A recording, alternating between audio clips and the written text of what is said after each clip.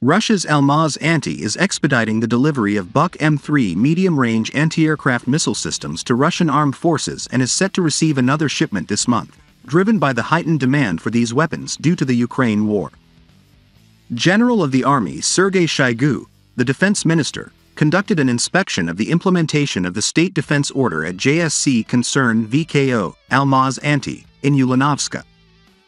Shoigu acknowledged the significant demand for Almaz-Antey's products, highlighting their exceptional efficiency in the Special Military Operation Zone.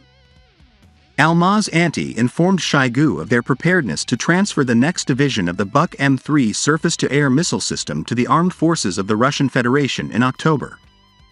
In September of this year, the company already accelerated the delivery of one division of the Buk M3 SAM system to the Russian Defense Ministry. According to this year's State Defense Order, they are tasked with delivering two divisions. The first division was supplied ahead of schedule in September, and the final stages of the second division's completion are currently underway.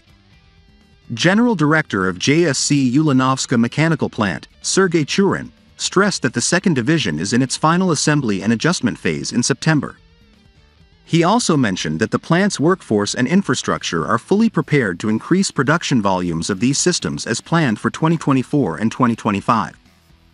During September 2022, the ministry announced that the Buk M2 and Buk M3 systems had eliminated 40 Ukrainian military targets in a single month.